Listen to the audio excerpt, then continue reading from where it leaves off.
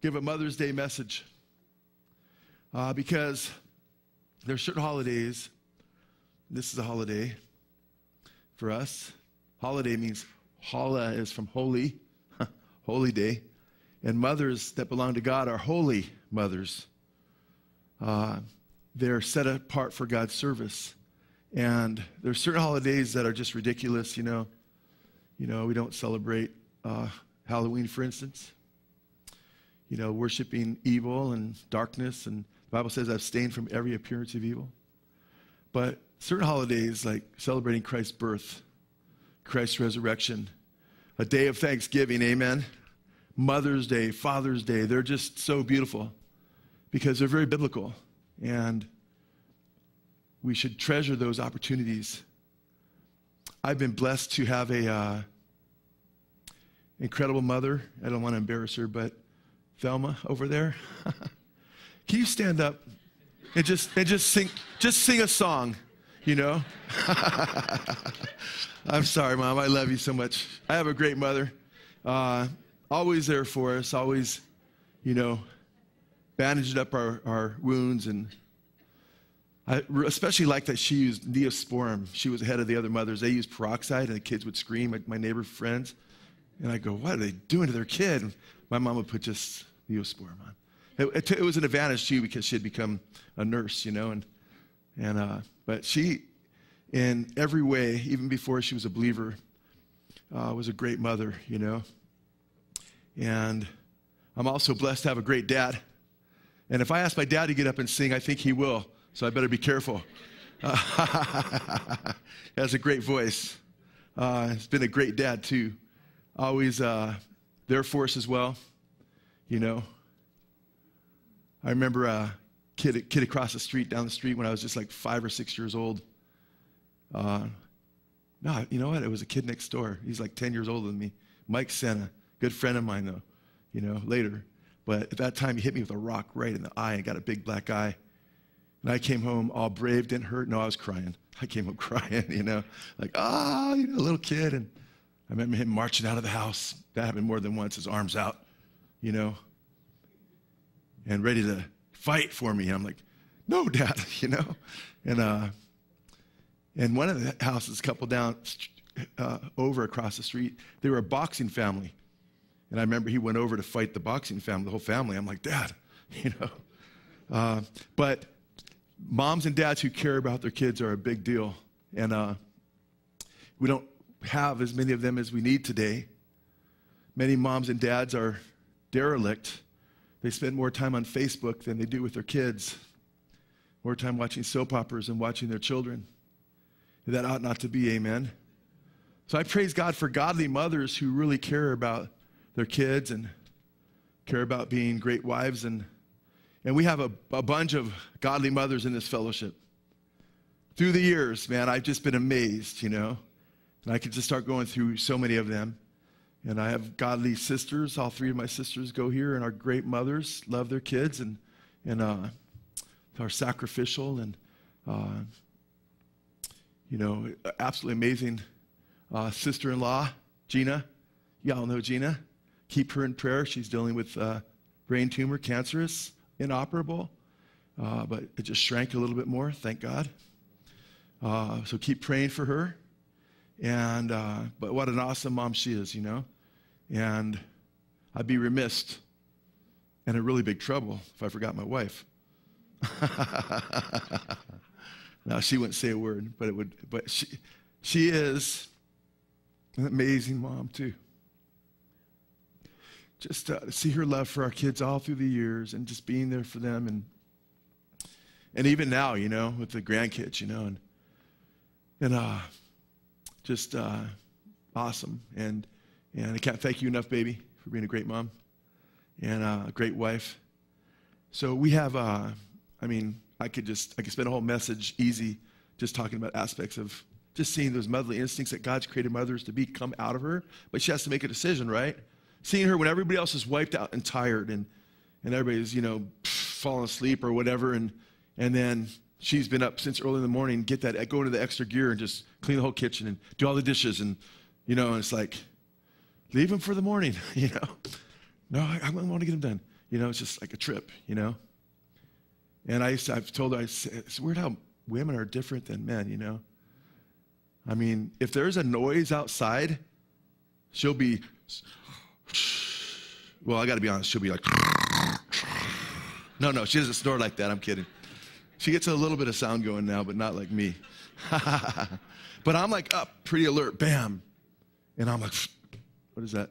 If it's an unnatural sound, I got a couple dogs and stuff to help and some guns. And ultimately, I have Jesus. Ultimately, I have Jesus, though, amen? You know?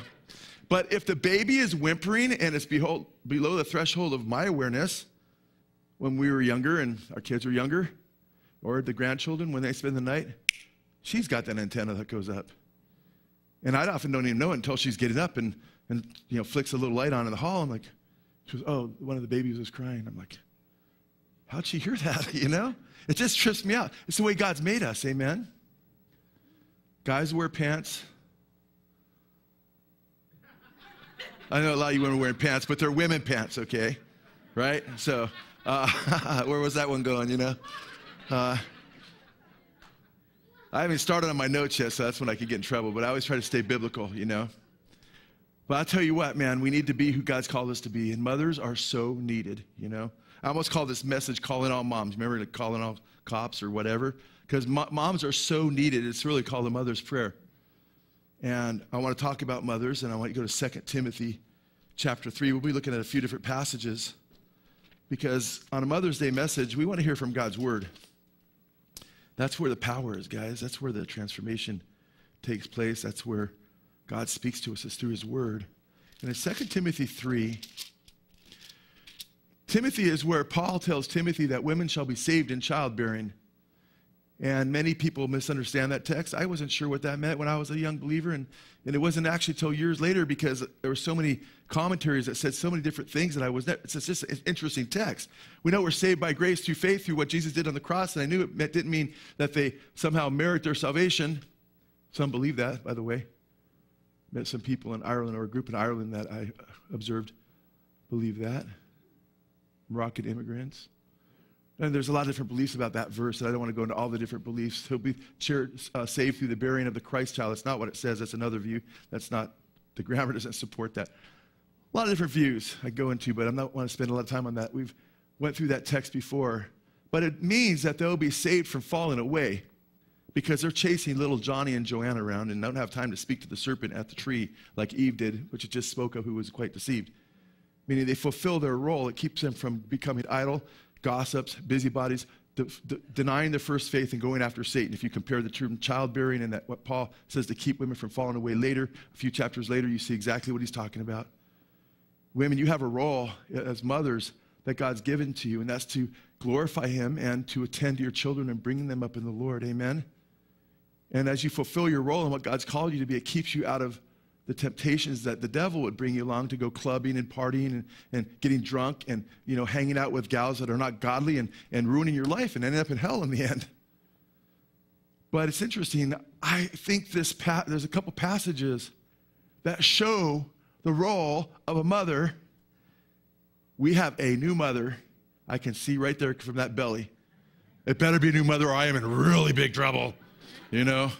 Because that, that thing's pooching. How many months are you Eight. Good to see you again. It's been a little bit. Praise God. Eight months. Are you ready to go? How close? Okay, not less than an hour. Good, good, good. Praise God. Okay.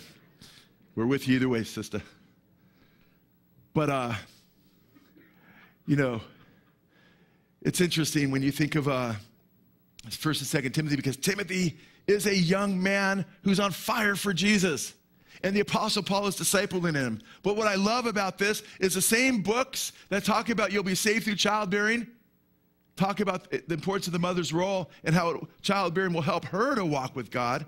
Also talks about the impact that a mother and a grandmother has upon her children's faith. Because you don't want to just bring your children into the physical world, amen? You want to bring them into the kingdom of God, amen? That's your main objective as fathers and mothers. Amen.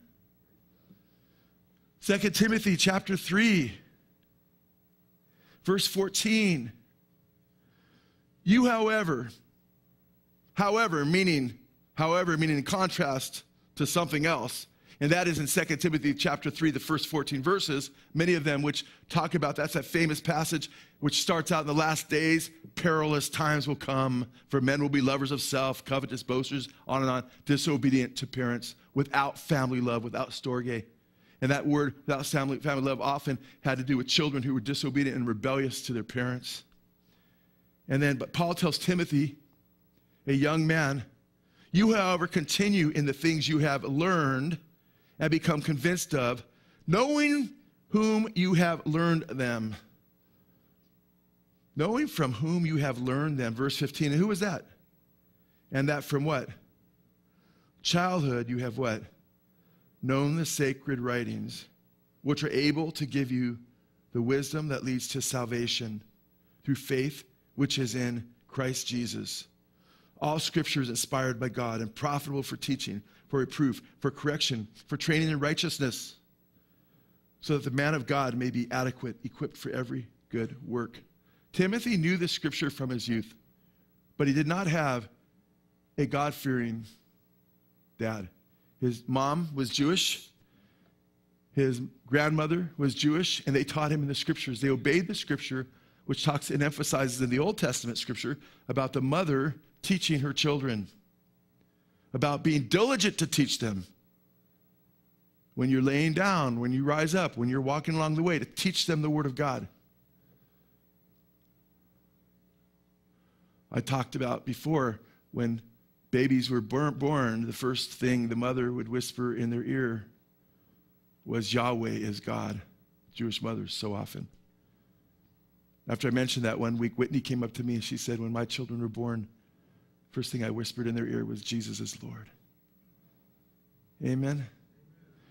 You can't start too young, man, from the womb to the tomb. And hopefully we go to the tomb before our children, but you want to be there the whole way through. Amen. And I love this because we find out that it was his mother in another passage and his grandmother. It says from your childhood, his mother and his grandmother. Grandmothers, you're not done. Amen. If you're a grandmother, you're still at work, still part of your job, not 24 7 anymore. Thank Jesus. Amen. Get some relief as in your older years. At least I get a little bit older, you know? Uh, and we're thinking, man, if we had kids now, 30 years from now, man, it would be really, really tough. 20 years from now, it could be hard. And it's interesting because we have grandchildren and I always, I didn't like it when people say, I love, because you get your grandchildren, you spoil them, and you just give them all kinds of chocolate, whatever, and, and then you let them go, and then you can, you, you just take a break. And it's, it's so nice. I hear that all the time. There's some truth to that. I don't believe you spoil them and ruin them. If you're, you know, some grandmothers will just totally contradict what their children want for their grandchildren, and that's not, that's not good. But being there and loving them and caring for them, and then having a break, there's a sweetness to that. We've had Holly and the kids over for a couple days you know, her and Chad are in a big fight. No, I'm just kidding. That's not happening. Chad actually is at a wrestling tournament far away, you know, and uh, he should be back today, right, honey? Praise God. But kids need their moms and their dads as much as possible. Amen. I mean, it's crazy. When we have our grandkids over for a long duration of time, there's something bound. You know there's going to be something. And I went from my office. I have office here, but I have office at home. And I went from my office to the kitchen, and there's little Justice, two years old, just two, and Eli, four. Just, they both jumped. And I go, oh, something is wrong. They both had that guilty jump, you know. They looked at me with saucer eyes. And it didn't take long. There's suds all over the floor, suds on the, you know, the, the, the all over the front of the stove and on the top a little bit and counter and, and on the drawers, suds and water. And, and there's a, a little pail there for washing cars. and I had come home, I think the day before, and little Eli was helping his mom wash her car and JoJo's car. She was nice enough to wash JoJo's car. I wish I would have taken JoJo's car. My truck would have been there. she should have watched that maybe. But uh, no, just kidding. And, uh, and I just looked. And then Eli said, Pop, Pop, we wanted to clean your house, you know? He didn't say, you know. He said, we want to clean your house. And they pointed at Justice and said, Justice, but Justice made a mess, you know. And uh, one of the things with kids is one of the things we need to teach them is to take responsibility. Amen? That's a big one. Take responsibility. It's in our fallen nature to pass the buck, you know? And you don't do your children any favor by always blaming on the other kid. In fact, you're actually hurting your child immensely if your child can't do any wrong. Whenever there's a conflict, it's always the other kid's fault. I've seen parents like that before, and it breaks your heart. It's like kids need to learn to take responsibility. I mean, the Bible says if we say without sin, we're liars and the truth is not in us. And if we deny reality that we need help, we won't see our need for the Savior. Amen. And uh, so it's important that we are balanced parents and that as parents, we face reality. Amen. That we're godly parents. I mean, in the very beginning, when the first humans fell, what did Adam do? He blamed Eve. He says to God, It's the woman you gave me. She gave me to eat. Then Eve was confronted. I mean, Adam was held responsible. God knew what was going on. Then Eve was confronted. She passed the buck. It was the serpent. He deceived me. See how that works? And a lot of times we like to blame others for the condition we're in, you know, and what happens to us, and, and always blaming someone else or some circumstance and what have you. God says He doesn't give us more than we can handle. He tells us to choose life and death. He says, puts curses and, and blessings before us, life and death before us. He says, choose life that you may live. And he says, with every temptation and trial, he gives us a way of escape that we may be able to endure it. Amen. And there's no temptation that's overtaken us but that which is common to other people as well. But he's faithful to give us a strength to endure these things. And, and we need to teach our children that we're all fallen. We need to teach them that we're weak, that we're made of flesh. We need to make sure that we don't say we're perfect you know, we need to let our children know, yeah, I need Jesus and I need him every day. They know that you're not perfect, but if you act like you're perfect and you've never made a mistake, that'll turn them off, you know? But they recognize that you pray, you cry out to the Lord, and, and so forth. Uh, and it's, it's interesting because I have two daughters and, and one son, and, and from the very get go, we let them know they need Jesus. We let them know mom and dad need Jesus. We let them know uh, how important it is that they acknowledge that they need Jesus. You need to let your child know that there's a real problem, what the problem is. Otherwise, they don't know the the need for the solution. Amen? You know? And by the way, I would also be remiss if I didn't mention my daughter Holly. And I've watched her up close with her kids, and she's another remarkable mother, you know? Loves her kids, and she's got a third one in the way already has three kids. If you got a baby in your womb, you already have a baby. It's not just a, you know, quote unquote fetus, which they interpret as being just a mass of tissue these days. We know better. But uh, we have so, such a calling. Mothers have such a calling. And look what Timothy's mother did taught her son the scriptures from his, his youth. That way, when he became older, he knew what God required of him. He knew that God had a call on his life. Every child has a call on their life from the Lord, first and foremost to salvation. But every kid also has a call to ministry. I never told JoJo, you have to be a pastor when you get older. You're going to be a pastor. That's what I never, I don't know that that's God's will for him. I didn't know that was his will. So I didn't presume and say, you're going to be a pastor. That's helpful for a lot of pastors when they bring up their children because then their children get in the ministry and it's a very safe place. But I don't want my child, I don't want my son being a pastor if God didn't call him to be a pastor. I want to be whatever God wants him to be. Why does he necessarily have to be a pastor? I don't know. But one thing I told him over and over again is that God wants you to be saved. He wants you to know him. He wants you to walk in purity. And he wants you to be his servant all the days of your life. And you're going to serve him in ministry in one way or another if you're going to heed his call. Because God calls us to be saved, but He doesn't just call us to be saved. Amen? When He saves us, what did He do? He strengthens us, He purifies us, He puts us in the service. You do recognize that every single one of us who are Christians, the moment we became a Christian, we were given spiritual gifts. Amen? You were given a gift, at least one. Every child that's born physically has physical strengths and weaknesses, But when you're born again, it says in, in 1 Corinthians 12, in Ephesians 4, in Romans 12, in 1 Peter chapter 4, each of those passages say each person has a gift. Some, many more. Paul said to pray for more gifts, 1 Corinthians 14. And when your child's born again, they're supposed to use their gift to God's glory. The goal isn't just to get your child saved and on their way to heaven. Ooh, that's first and foremost. Amen. That's huge.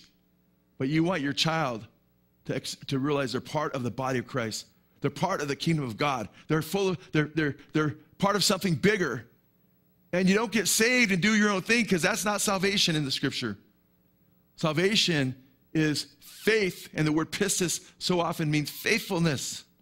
We're saved by grace through faith, but true faith, the just shall live by faith. But if he draws back, my soul have no pleasure in him. So it's imperative that you teach your children that God wants to use them.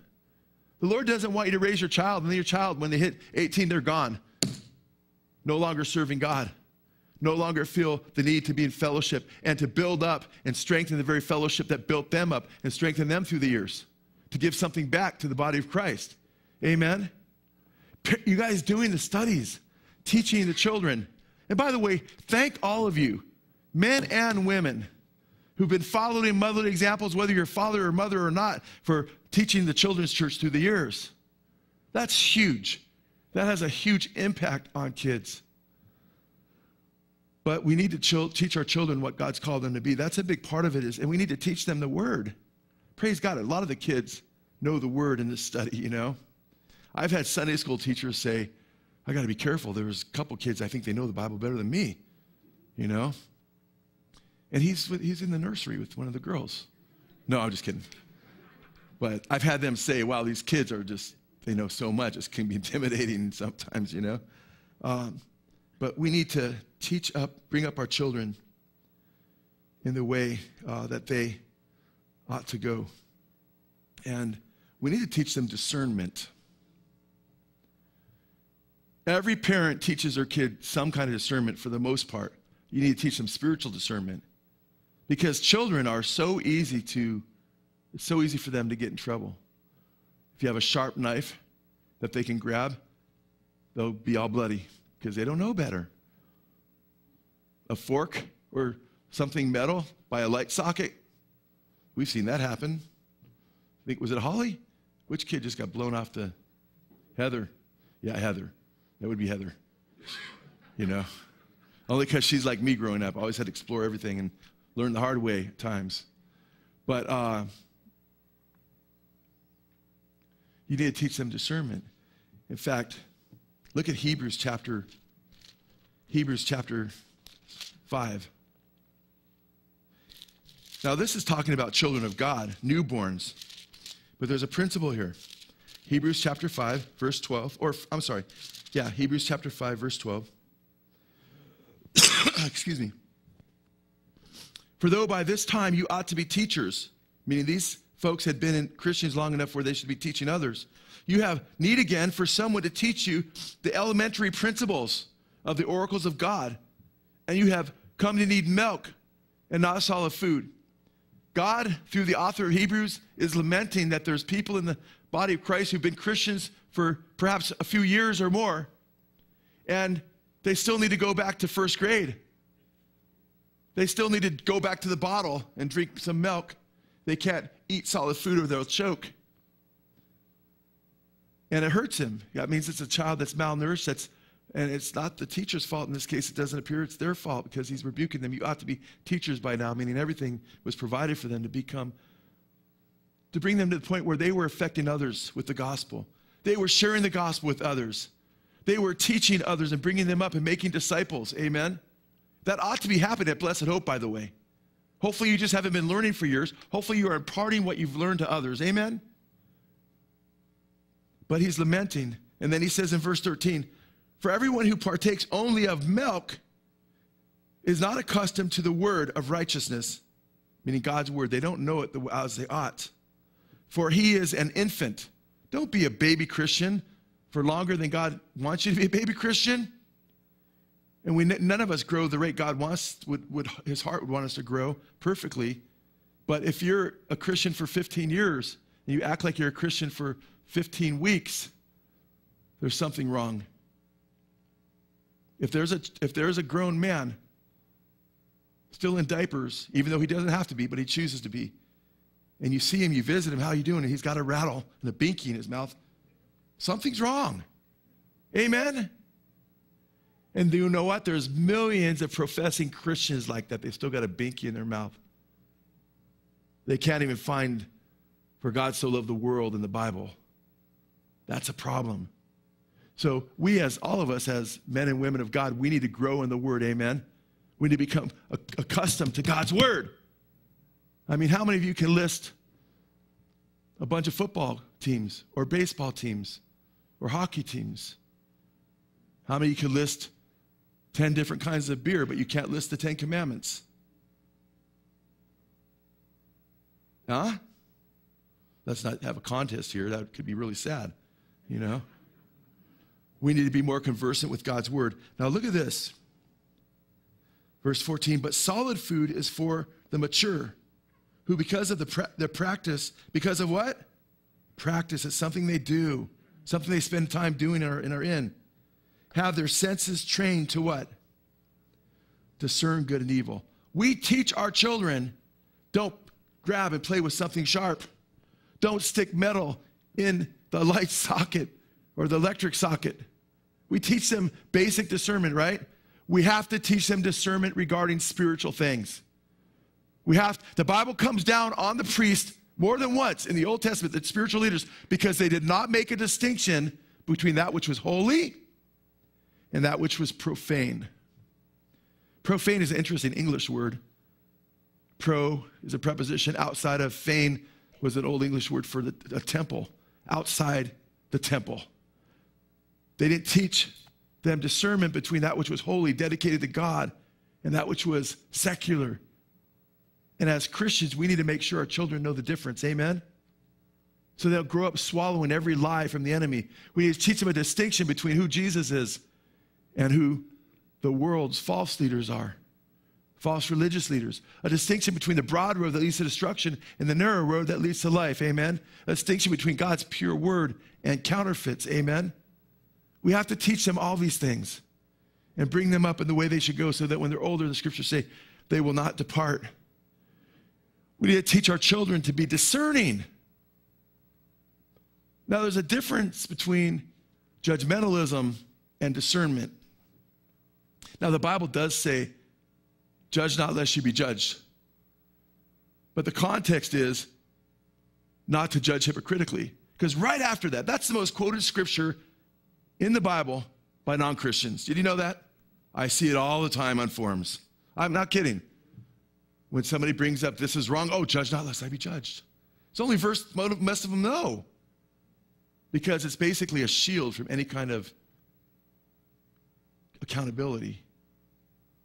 But right after Jesus says, Judge not lest you be judged, he says, First take what? The beam out of your eye. Yeah, so you could take the speck out of your brother's eye. He doesn't mean ignore the speck. Doesn't mean don't try to help someone out. Doesn't mean don't make a discerning choice. He means make sure you're not having a big plank in your eye. That's I would not want a guy to do surgery on my eyes, a, a surgeon who had a big plank in front of him. That'd be kind of scary, amen. Destructive, actually. You're, don't be destructive. Don't be a guy that's like saying, hey, it's wrong for that guy. He's fallen into porn, but you're a drunkard. Repent of anything that you're practicing, amen. But then help that guy out of that, whatever problem he's got, amen. Because Jesus said, judge with what? Righteous judgment. Can you quote that with me? Judge with righteous judgment. That's a command from Jesus. We're called to make judgments as Christians. Genuine Christians who are really following Jesus will follow the whole counsel of God and obey that scripture where he commanded us to judge with righteous judgment. But in that passage, he says, judge not according to appearance. So many Christians, oh man, you know, did you see that guy? Can't be a Christian, you know? And they write people off. The Pharisees were like that, you know? But Jesus spoke of people that were going in the kingdom faster than the religious leaders because their hearts were right with God. Amen? But so we're commanded to make righteous decisions. But when I say judgmentalism or judgmental, that, that carries the idea, that term carries the idea of being a Pharisee. and just being holier than thou and I'm better than everybody and having a snooty attitude and, and wanting to show yourself better by criticizing other people and being a what I call a sin sniffer, you know? Just trying to find fault, fault finder, trying to find fault in people. That's not good. Okay, we want to love people. We want to affirm that which is excellent in others, the Bible says. Love hopes all things, amen. That's the kind of heart God wants us to have toward other people, amen. And that's the kind of heart we ought to have. And when somebody criticizes somebody else, it's good to just throw a zinger in there and find out what's good about that person and say, you know, this person's been a real blessing in this way. Whoo, we talk about throwing something. In. No, I'm not talking about if there's something legitimate where somebody's being destructive and needs to be addressed and the person is concerned about the person or something like that. I'm talking about gossip, you know? And we need to teach our children not to be judgmental, right? Not to be arrogant, not to be Pharisees and self righteous and talk about how bad other people are and how good they are. But we do need to teach our children to be what? Discerning. Because if your children are not discerning, they will be destroyed. My children perish, the Lord says, because of lack of knowledge. My children perish, the Lord says, because of lack of knowledge. Your children need to know the scriptures. They need to be able to discern between good and evil. Because he says here, but solid food is for the mature who, because of practice, have their senses trained to what? Discern good and evil. Well, God doesn't want you to be a judgmental Pharisee, He does want you to be a discerning Christian. And today in the body of Christ, Satan is having his way, encouraging the church not to be discerning. That's why false teachers flourish in our day. Oh, oh, don't judge. But wait, I mean, see that, that shepherd there? It's really weird. If you look really closely, you have these really long fangs and these ears sticking out of his deal. And, and he looks like a wolf because he's saying to drink this poisonous Kool Aid. Oh, you're so judgmental. No, we need to be discerning. Amen. The entire New Testament, almost every New Testament book was written to correct. I've said this before. Almost every New Testament book was written to correct bad behavior or false doctrine. And we're called to preach the word, amen? And to test everything according to that word and hold fast that which is good, the scriptures say. If they speak not according to that word, it's because there's no light in them, the scriptures say. Test the spirits to see whether they are from God. Believe not every spirit, the scriptures say. False Christ and false prophets will rise, showing great signs and wonders, doing, if possible, deceiving the elect. We need to be discerning, amen? See to it that no one deceives you, says Jesus. I can go on and on. We're warned over and over again. And right now, a large part of the body of Christ is deceived. There's a teacher online that's very, very popular named Todd Bentley. And he literally does these weird things, and somebody comes up, he'll give like a, just kick them really hard, they'll fall over. God told me to do that. A person that's almost an invalid. And the crowd laughs. and he goes off with his uh, wife. Uh, no, I'm sorry, his secretary left his wife, and now he's married to her and restored to ministry with his new wife, his secretary. Oh, and by the way, he said his new wife, he got a GoFundMe page or something, something like that. Just I just read. That's why this is in my head. I just read it this week, and it's uh, send a bunch of money to my wife so she can get some nice things, you know, on his Facebook or something. I don't know how many millions or not came in, but it's like, wow. The guy's already got millions, I believe, but he wants more. And if you work hard for your money and, and God blesses you because you're diligent and, and you work hard and you love Jesus, praise God. That's between you and God. And, and praise God for people that God's blessed because they bless others. Amen. And God wants to bless his children. Amen. As long as we put God first. Amen. But if you're fleecing the flock to get rich, it's a problem. So we need to teach people discernment when it comes to spiritual things, amen? And we need to teach them discernment when it comes to teaching.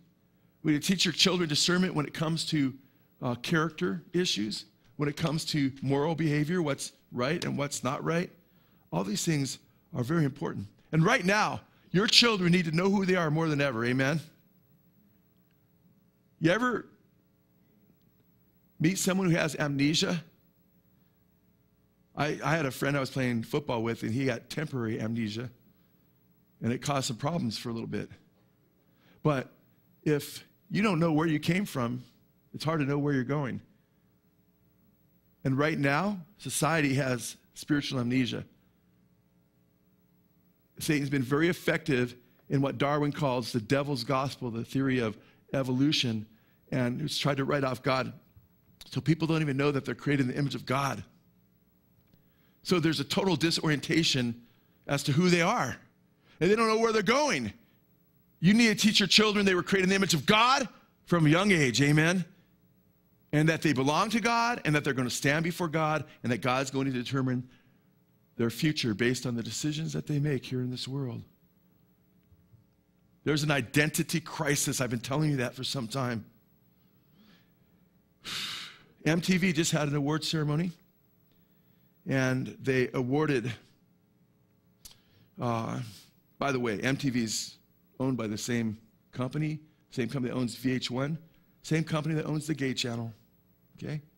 And I should say this they got the same uh, general manager. And MTV says, We don't shoot for the 14, 15 year olds, we own them. Okay? And they're teaching our children. In fact, they just had a, uh, a gender neutral award given out to Emma Watson on MTV. We should be gender neutral, a lot of people are saying. There's no distinction between male and female. Satan would love to erase that distinction. Amen? But God's made distinctions for a reason. Mothers make the best mothers, guys. Fathers make the best fathers. Studies show that, by the way. And Satan wants to blot out gender distinctions. And I'll tell you what, uh, by the way, Facebook, it used to have male or female, you know? Then it added things like bisexual. By the way, bisexual at least, and that's not a good thing, man, because God, males are to be with females and females with males, and that produces life and children. The others produce disease. It's pretty obvious. Anatomy is wrong, the outcome is wrong, and the sadness it causes is wrong. But even the term bisexual at least implies what? Two sexes. Do you think about that? Now Facebook has over 50 different gender things you can, have a, you can click. Agender, you don't have a gender androgen. I'm not going to read all of them, but I selected some of them, like androgynous, gender fluid. Wow. Gender questioning, gender variant, gender queer, intersex, male to female, neutrois, non binary, which is like gender neutral, other, I don't know what other is, pangender. Miley Cyrus says she's pansexual. Pan is a Greek word for everyone, everything, you know? I don't know if that includes animals or not. Trans feminine, transgender, transmasculine, transsexual, transsexual female, transsexual male. Two spirit. Two spirit. Like, remember Prince? Changed his name? Didn't want a name? Because he didn't want to offend the other spirit living in him, which is probably the spirit that was channeling all his music, a demon spirit. And that's what a lot of this is, guys. It's uh, confusion. In some cases, it's just pure demonic. There's what the Bible calls unnatural affections. And when children don't have the armor of God, you need to teach your children to discern between good and evil, and you need to teach your children how to put on the armor of God. I teach, well, not Justice yet about the armor of God, but Eli about putting on the armor of God and what it is. And, and I know it goes over his head, you know? But he's young, and you know how they're attracted to superheroes like for him, it was a little bit was Captain America, you know? And I always teach him the greatest superhero is Jesus. And, and the armor you need to put on because there's a real war. And he's four, you know, and I've been teaching him that since he's probably two and a half, three. And, you know, his parents do a great job teaching him. I just supplement a bit, and Lisa does as well. But I'm teaching them the armor of God. There's a spiritual war. And all of a sudden, people don't know who they are. You need to know what armor you're in, amen? You need to know who you belong to you know how to put the helmet of salvation on in these different parts of the armor. By the way, this gender thing, and this confusion, and this whole idea about what I am, and that you could choose. You know, women have an XX chromosome, right? And men have an XY chromosome, and it's encoded in your DNA whether you're male or female. Okay? If Bruce Jenner wants to walk around with fake boobs, a man putting boobs on doesn't make him a woman, it makes him a man with fake boobs. Do you understand that? That's a reality. If I said, hey, Lisa, I'm sorry, I hope you can accept this. I know you married me this way, but I feel like I'm a teapot, you know? And I had some teapot somehow melded to my skull. And I walked around with the bag over my head, but you saw the teapot. I went around saying hi to people, and I just felt I was supposed to be a teapot and would pour tea, and I tell them I'm a teapot. Do you think they'd walk around saying, wow, he's, he's, it's good to see he's found himself, you know? That, uh, you know, he's a teapot. That's so good. No, you'd say, the dude's needs help. When a super skinny, when a skinny gal looks in the mirror and she sees herself as 450 pounds, we don't say that, good for you. We say that's a mental illness. Isn't that right? Do not be jaded because a lot of the church is going to be sucked into this and already is. Right now, this is part of the spiritual war we're in. And by the way, discernment, it comes from learning the Word of God but also comes from God raising up people to teach the truth. In Ephesians 4 11, it says, God gave apostles and prophets and evangelists and pastor teachers for the perfecting of the saints, for the work of the ministry. And he says different things to, to equip us. So we're no longer like children. Remember, children don't have discernment.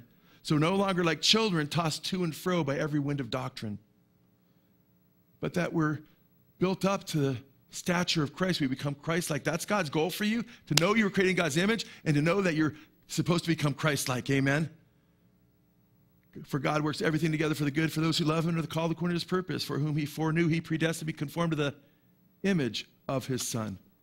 You need to teach your children that they're supposed to look in their heart like Jesus, amen, and reflect him and allow him to strengthen them and live through them because they can't live the Christian life in their own strength, but to be empowered by Him to be who they've been called to be. Amen.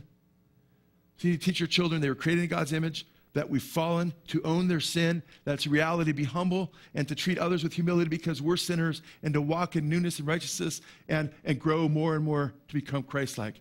The Bible says, without a prophetic vision, my children go astray.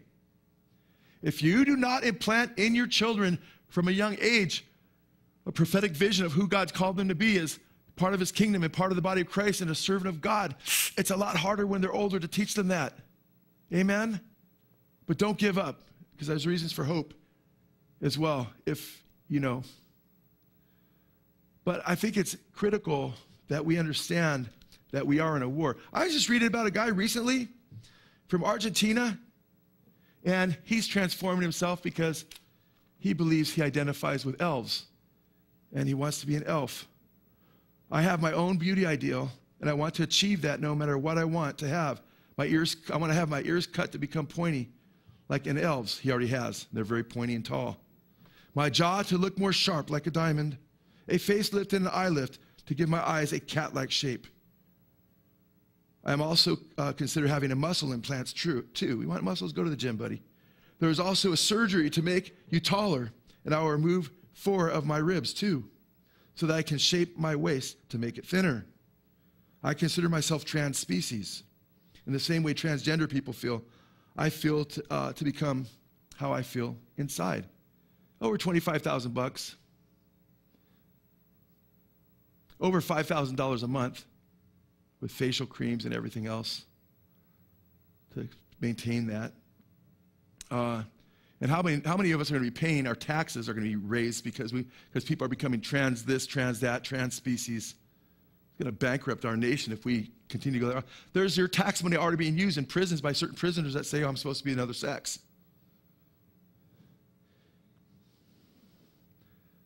Guys, we emphasize to our young men, to our kids, male or female, that they are male and they are female. There's four, five, six year olds whose parents are like, I think you were supposed to be a girl. A lot of times because they really always wanted a girl. Or I think you're supposed to be a boy. And then they make the girl a boy. And they start giving them supplements and then they give them sex changes. And that is wicked. That is evil to do to a child. How can you know what your child's supposed to be, especially if their DNA says that they're a male, a female? Now, the question might arise Well, what if there's a strange chromosome that's not either or, it's something you can't understand? Well, then there's some latitude. But when you have an XX chromosome or XY chromosome, or your DNA says you're male or female, there's no latitude. We're hardwired. But these liberals deny science. They're science deniers. Isn't that ironic? They're denying the science of the DNA and the chromosomes because they want the philosophy of do what thou wilt. Be our own gods. That's what it's all about, guys, ultimately, really. That's what this whole thing is, is being our own gods and giving God the finger and saying, I'm going to do it my way. Well, you do it your way, your life is very temporary. Then it's over. Then there's heaven and hell. Not worth it. Not worth it in this life or the life to come. So, mothers, you play a huge role in helping your child accept their male or female identity and to grow in that and recognize their identity as being made in God's image and being made to know that they're supposed to know God, to be saved and be made into the image of Jesus. You play a huge role. Absolutely, amen? And the prayer of a mother avails much. The prayer of a mother, mother avails much. Remember Hannah? Praying for baby Samuel? She wanted him to serve God, remember? She was crying so much in prayer that Eli he thought she was drunk early in the morning. She's sobbing and shaking, and, and she was just praying for a child. And God put him into service. Amen. Remember Mrs. Zebedee? John and James were her sons. She went to Jesus and said, You know, when you come in your kingdom, you know, put my sons at your right and your left hand. She knelt down before him and cried out to him.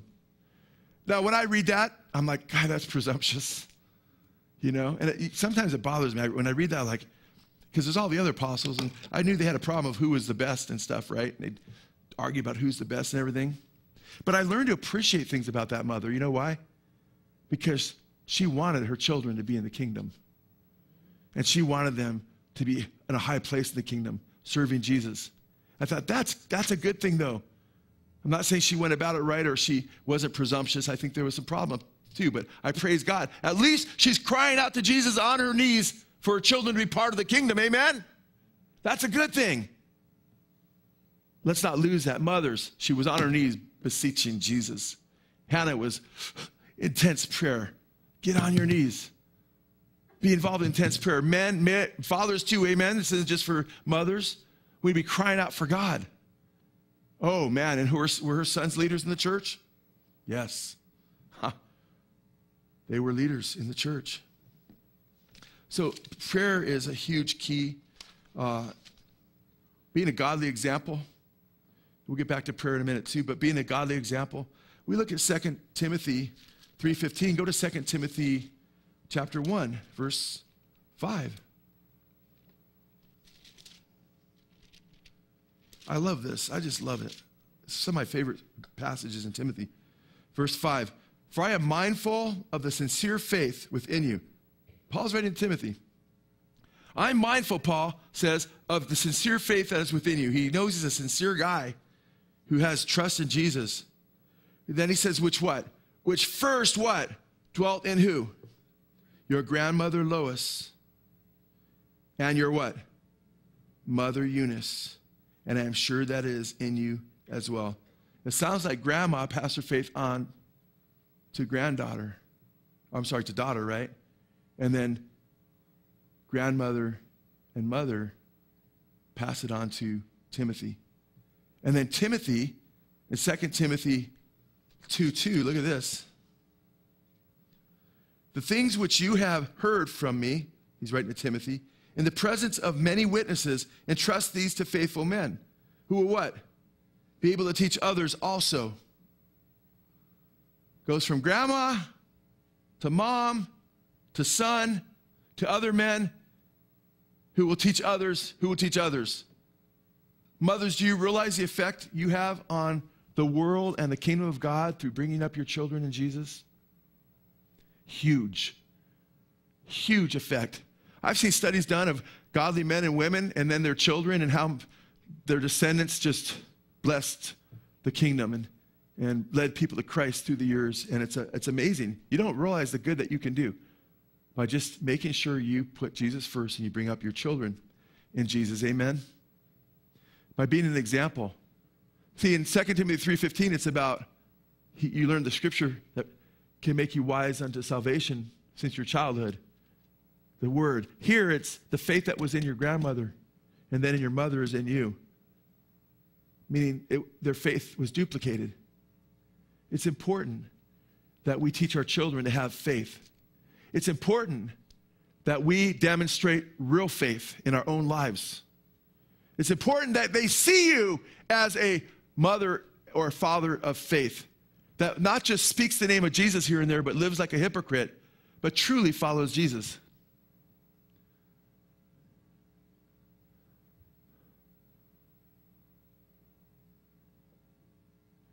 We have to be sincere.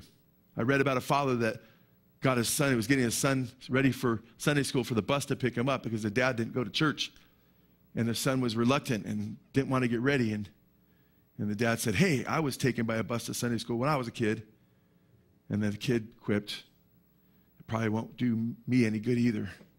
You know, that's a sad thing. Because they need to see Jesus in your heart, they need to see you walking in the faith. Amen? I remember hearing about a story some time ago about a tightrope walker going across Niagara Falls with a big wheelbarrow. First, he just did it without a wheelbarrow. He said, How many of you believe I could do this wheelbarrow? Yay, yeah, do it. Yeah, we believe it. Yes. Walks across with the wheelbarrow, back and forth. People like, Yeah. How many of you believe I could do this with a person in the wheelbarrow? Everybody's like, Yeah, yeah, yeah, do it. Yeah, you can do it. Woo, yeah. Big crowd. Whoa. He goes, Okay, who wants to be my volunteer? Total silence. Being a person of faith isn't just saying, yeah, yeah, I believe you could do it. Being a person of faith is getting in the wheelbarrow. Amen? Is depending on Jesus, saying, Jesus, I trust you with my life to get me into heaven. Amen? And truly trust Him. And having your kids see that you're trusting Jesus, but it coming from the heart, where it begins in the morning, where you wake up and you be, say, Lord, I give this day to you. Fill me with your spirit. Use me to your glory. Help me to be a blessing to others. Pray for my brothers and sisters in Christ, praying for your children, you know. And, and go ahead and make sure you lift up your children in prayer. Don't just pray for your own life, pray for your children. Amen. Make it a daily habit. I pray for my kids, I pray for my children, my son in laws, and, and uh, future daughter in law, whoever she will be, you know. Pray for my grandchildren. I pray for Blessed Hope. It's pretty easy. Lord, bless Blessed Hope Chapel. Bless my brothers and sisters throughout the world. Give them strength. It's not hard to pray, just do it. Amen. Be a person of prayer, be a prayer warrior, be an intercessor, but be an example. Be an example and get in the wheelbarrow. Let them see your example. Anybody remember when ISIS marched 21 men? Remember they were dressed in those orange jumpsuits on the beach? Anybody remember those images? To behead them on the Mediterranean Sea, they were in the Libyan coast. Remember that? I mean, starking footage, and these 21 men are all just getting lined up to be beheaded. And a lot of them seem to have a lot of peace. And you know what? 21 men, these were Coptic Christians, many of them truly looking to Jesus beyond whatever the traditions were at that moment, saying, wanting Jesus. And they were threatened. If they denied their faith, they'd be set free. They'd become Muslims. They refused to. And it backfired for ISIS because they filmed the beheading, which you don't see, you didn't see if you watched it on mainline news, of course. But many of them, as they were getting beheaded, professed Jesus as their Lord, and said Jesus. But there was one man there who was not from Egypt. These were migrant workers, by the way, that were kidnapped who were working in Libya. But there was a West African man that was among them, working with them when they were all kidnapped. He was not a Christian. But he died professing the Christian faith. He, saw, he became a Christian after they were all kidnapped, and he saw the example that they were in the face of this terror. It blew them away. It blew him away, I should say. And when they said, You need to deny your faith now, this West African man said, Their God is my God. And he refused to recant his faith. He saw the examples that these guys were. Dads, I know this is Mother's Day, but I want it to be a great Mother's Day for the mothers here. And I know if there's a mother here and she has a husband here who's hearing me right now, the best way you could be a blessing to her and treat her with the honor you're called to treat her with, you're supposed to honor your wives, is to be the best example you could possibly be to your children. Amen. To get in the wheelbarrow, show real faith, and die with the name of Jesus on your mouth. Amen. Out of your on your lips. Amen. So we need to be real. Mothers need to protect their children from evil. Proverbs chapter 1. Proverbs chapter 1. Just go ahead and look at verse 7. Very familiar verse. Uh, verses like this, there's four or five of them throughout the scriptures. In Proverbs, there's a few. In Psalms, Job, where we read, The fear of the Lord, verse 7, is the beginning of knowledge. Fools despise wisdom and instruction. Look at the next verse, though. Hear, my son, your father's instruction, and do not forsake what? Your mother's teaching. In other words, mothers that are godly are teaching their children to fear God. Amen. And that leads to knowledge and wisdom. Verse 9 Indeed, they are graceful wreath to your head and ornaments on your neck. And my son, if sinners entice you, do not consent. There are mothers that teach their children to be careful of what friends they choose. Don't let people choose you as your friend. Teach your children that. You need to make godly choices as who you're going to allow influence your life. Because many children have been destroyed by immoral kids who've led them into sexual perversion, led them into drug use, and led them into all kinds of things. I know. You know, I grew up in a family where we were all influenced and allowed these influence in our lives, where most of us were led astray uh, by other evil kids, and then we became those evil kids too. Verse 11 If they say, Come with us, let us lie in wait for blood, let us ambush innocent, uh, the innocent without cause, let us swallow them up alive like Sheol. Even whole as those who go down to the pit, we will find all kinds of precious wealth. And sounds like gangs, right? We will fill our houses with spoil. Throw in your lot with us. We shall have uh, one purse, my son. Do not walk in the way with them. Keep your feet from their path. This is the mother's teaching and the father's. For their feet run to evil, and they have they hasten to shed blood. Indeed, it is useless to spread the baited net in the sight of any bird, but they lie in wait for their own blood. They ambush their own lives. Wow. So are the ways of everyone who gains by violence. It takes away the life of its possessors. And look at 28 and 29. Here's the problem. They will call on me, but I will not answer in the end when it's too late. They will seek me diligently, but they will not find me because they hated knowledge and did not what? Choose the fear of the Lord. You need to show how beautiful the fear. The Bible speaks of the beauty of the fear of the Lord. I love the subject of fear of the Lord because it's beautiful. It's just reality. It's facing the reality that God is God and that He's radically made the universe and He is love, but He's also consuming fire. It's a terrible thing to fall in the hands of loving God because He's not evil, because He's holy and just and righteous and pure and good. But if we rebel against Him, and we try to be our own gods, he says he'll have no gods before him. Amen? And it's teaching your children that they need to have, be in awe of God. They need to recognize how radical and how wonderful and beautiful he is. Kids need that today because there's every carrot in the world being, you know, put in front of them to tempt them. They need to have a vision of something far more powerful, far with much more grandeur. And there is something like that. His name is Jesus. Amen. We need to teach them who Jesus is, who God is. He said, "If you see me, you've seen the Father." Oh, yeah, he is love. But that caricature of him by a pond, holding a little lamb with long, sissified hair, you know, I, I have a hard time with, you know, I'm, if you're a guy with long hair, uh, get it cut a little bit, you know. Anyway, I used to have really long hair. The Bible says it's a shame for a man to have long hair. How long is that? I don't know. But if it's like three feet long, it's probably at least two and a half feet too long, I imagine, or so, or two feet too long. I don't know. But I'm telling you right now, the sissified version of Jesus is what people see in pictures and everything else. Jesus was a man, amen? He was the ultimate man, amen? And when John saw him on, on, at a, on Patmos, he had eyes of fire, amen? When he comes back, he'll come back with his mighty angels and flaming fire to destroy the wicked, it says. He's a powerful God. Teach him who he is so your children learn to love him, because he gave his life for them. He has nail scarred hands and feet because he's a real man who gave his life as a sacrifice for his spiritual bride. Amen? But he also is holy and to be feared. We need to teach our children who he is. Mothers, man, they protect their children from evil. I read about Mary Thomas. It's an interesting story in the Chicago Tribune.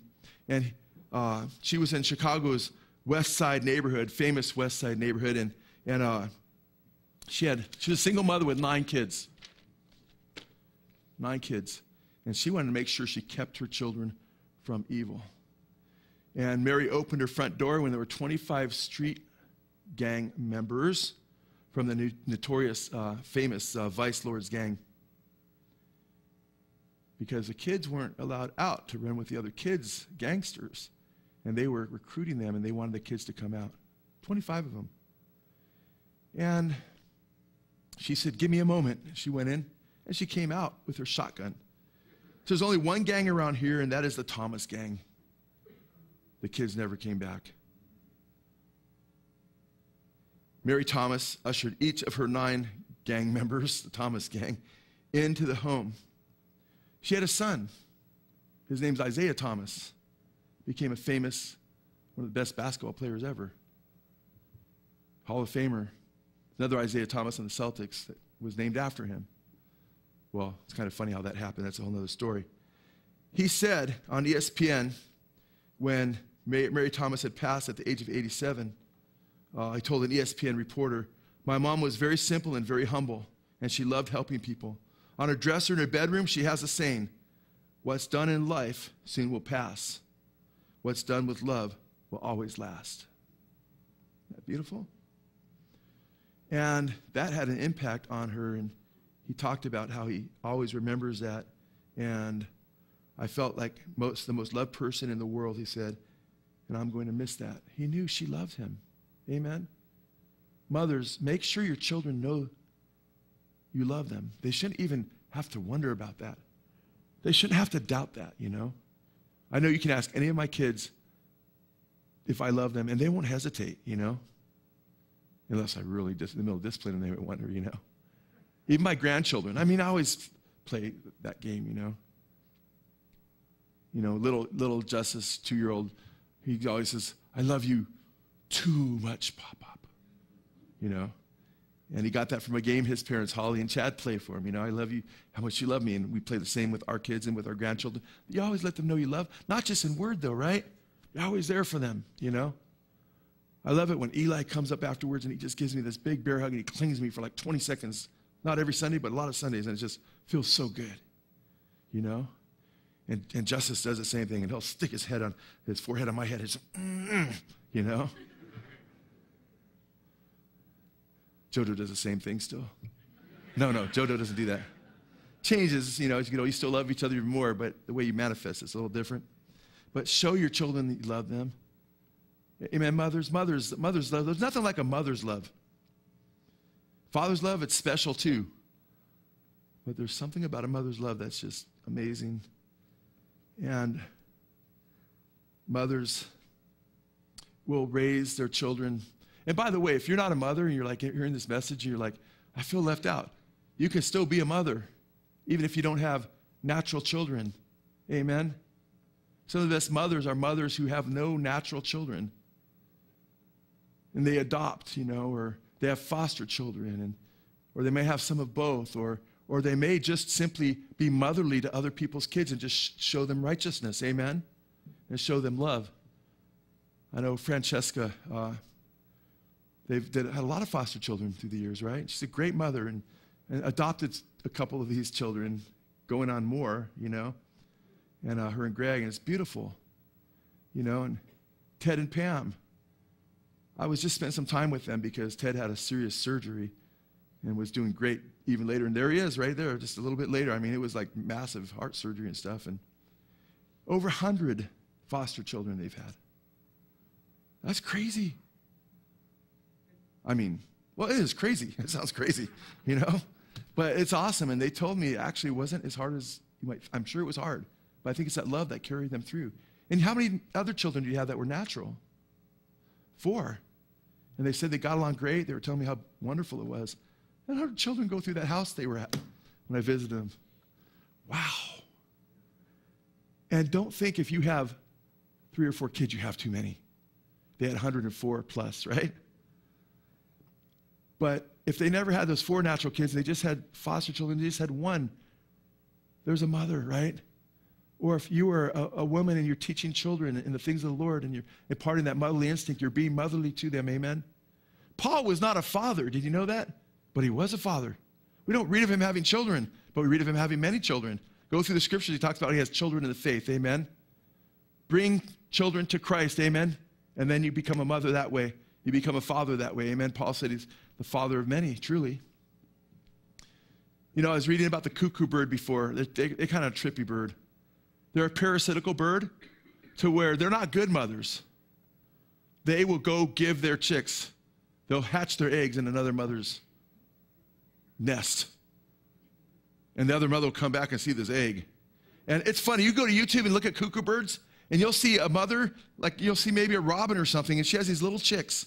But the cuckoo bird is so much bigger. And then she has a bird that's bigger than her, and she's just trying to keep it fed. And she's just loving that bird, even though her little birds are hard to get any food, and, but she's loving that kid anyway.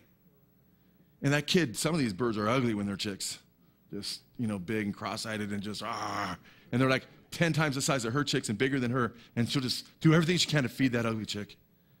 That's a mother's love, amen?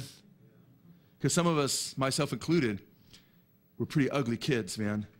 I treated my mom in an ugly way at times. I remember I, was just thinking a while ago, a couple weeks ago, I was thinking, I felt really bad. I just remember raising my voice to her before, and most of us kids did at times before we knew Jesus, and you know, how she just endured that and kept loving us anyway.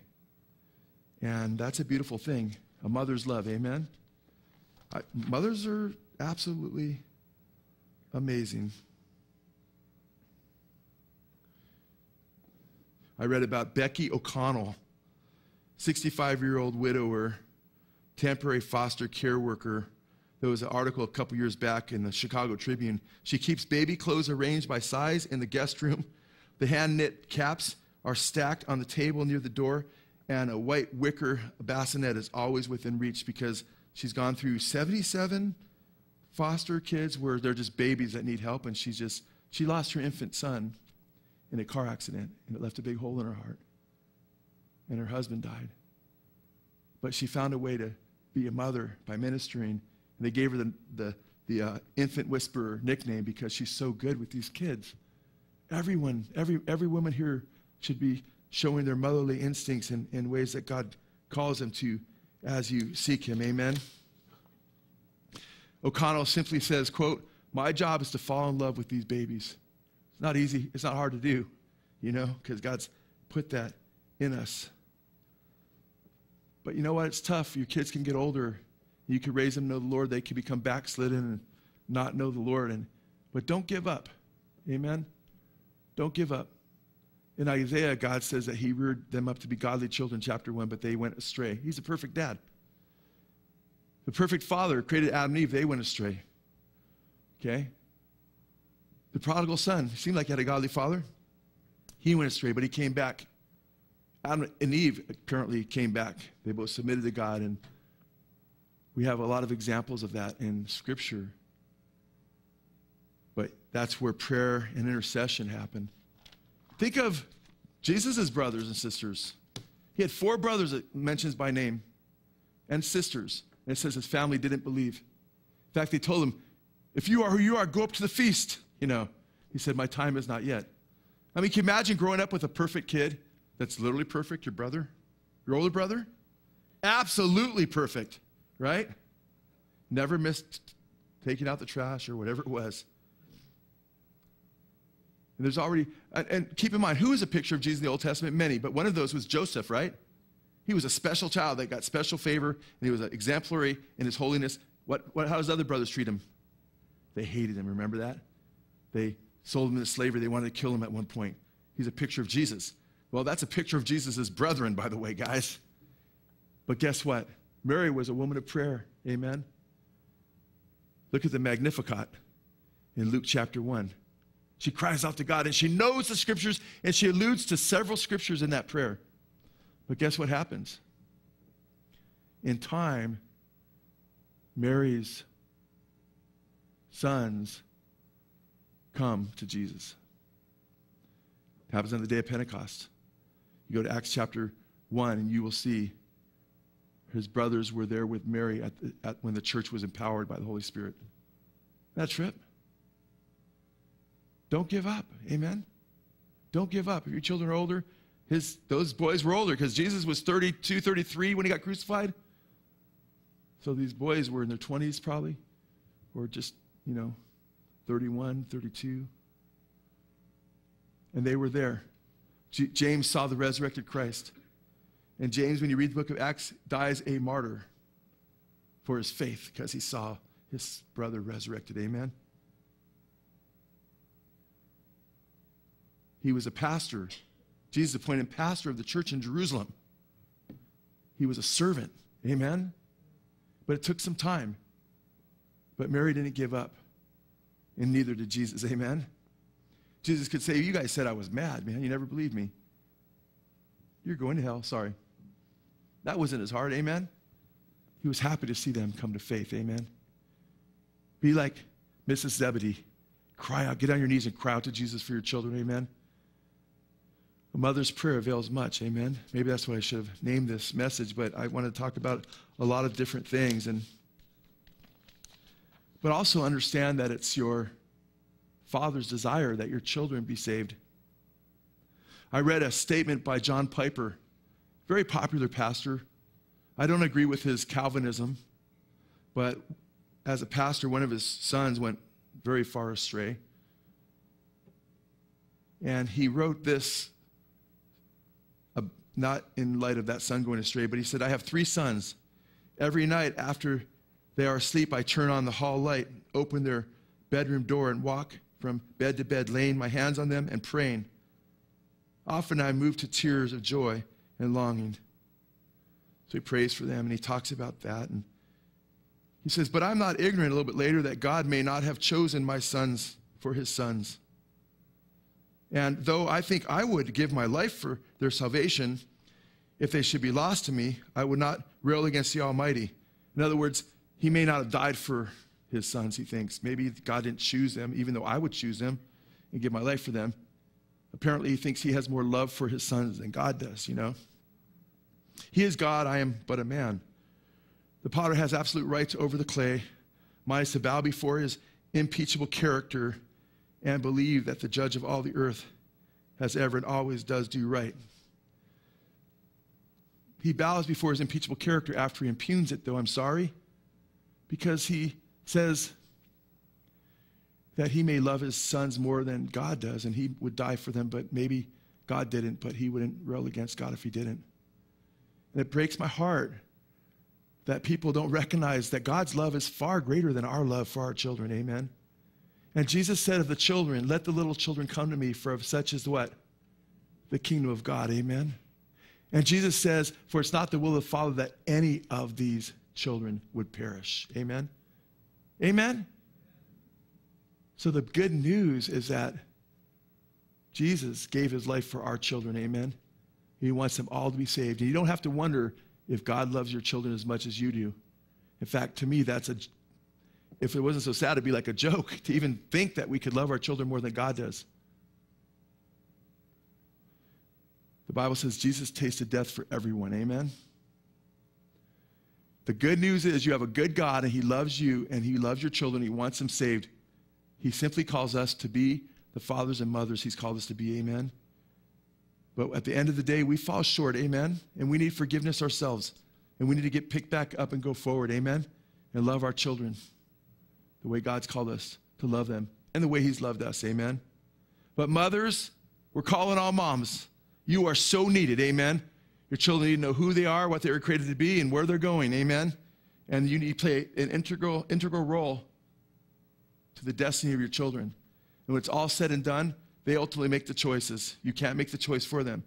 But what you can do is make sure you're a godly example by just simply being the loving mother, the godly mother that God created to be, teaching them the scriptures. Don't leave it up to the church. oh, I wish the church would have taught my children more. No, it comes down to you in the end. The Bible doesn't say, church, bring up their children for them. It says, children, teach your, the Bible says, parents, train up your children the way they should go. Amen. The Bible says, bring them up as parents in the nurture admonition of the Lord. The Bible says, train them up the way they should go. Yes. The Bible says, uh, children, or it says, parents, to bring your children up in the instruction of the Lord. And it says, this is right, chapter 6, verse 1 of Ephesians. And it says, this is the first commandment with a promise. And it says, uh, and that's where it talks about they shall live well and have, have long life. Amen. It's a beautiful promise. But we just need to do it. Amen. And when all is said and done, you can put your head on your pillow at night and say, you know what? I want, I've shown them the faith that's in me. I'm in the wheelbarrow. Amen. I'm trusting Jesus. I hope they follow. All I can do is get in myself and say, Come with me. Amen. But you need to be doing that. Amen. And you'll have a happy Mother's Day. Amen. Praise God. Can we all please stand?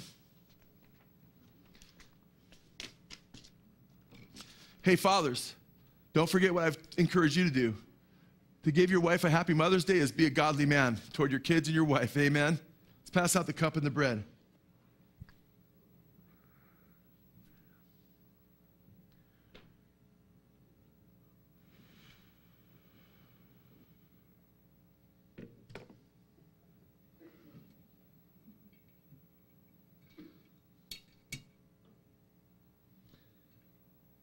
So, mothers, we need you.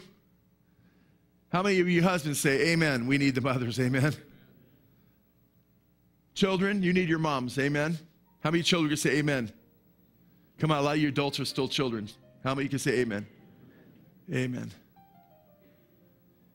Do me a favor. If there's a mother near you, give her, give her a hug. Tell her thank you for being a mom for Jesus. Amen. Don't hug some other guy's wife and not yours. I mean, not you, you can hug a few people. God is good, amen. Thank you guys for being moms. Hey, and guess what? You're bringing your children, you're teaching them Jesus, you're bringing them to church. Apostles, prophets, evangelists, pastors, teachers. God uses churches to teach children, so the church does play a role. But the buck stops with you ultimately. And we do our best. We have a lot of godly people teaching your kids, and it's a beautiful thing, and many of you are among them. Take that seriously too. I had brother Eric Blackwell at the house yesterday, and Sarah, and uh, not Sarah, but Camille was there with him, and and uh, he had to leave. I think 11:30 or so, 12. I go. I goes. I got to get home because I got to teach tomorrow morning, teach the kids. So he's up there teaching. But I thought, praise God, he's taking that seriously. Amen. We teach, if you have an opportunity to teach the children, relish in that. Say, thank you, Jesus, and pray and think about your study and, and pray that God would use you because that will help supplement bringing forth who God wants them to be. Amen. We've got the bread and cup almost passed out now. It's almost done.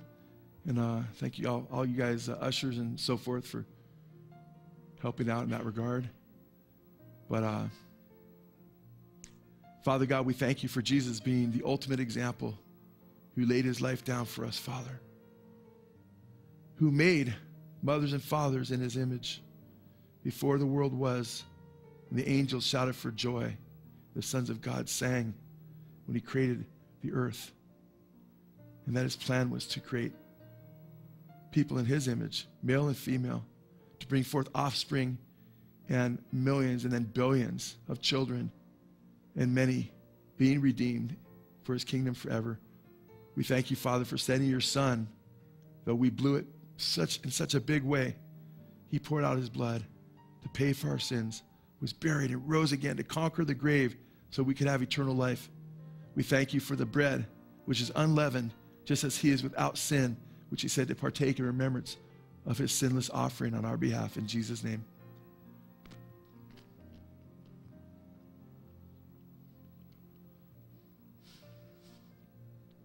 Father God, thank you for Jesus, sacrifice. Father, your word says that the life is in the blood. And We thank you, Father, that your Son shed his blood, his life on the cross. So our impure blood, so we can be forgiven for our sins. Genetically, Father, even to one degree or another, we're disposed towards sin because of the human rebellion against you, but we're sinners by choice as well. We thank you, Father, that we're transformed, and though we were once sinners in rebellion, that we are now saints made in the likeness of your Son because of his glorious gospel and his shed blood. We partake of the cup with thanksgiving in Jesus' name. Amen.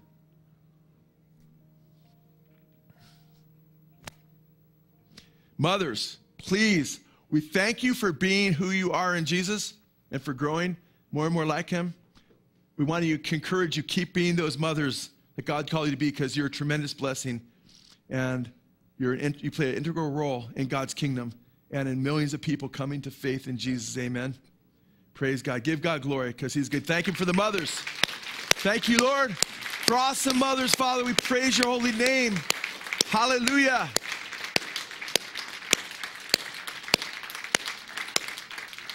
Praise God.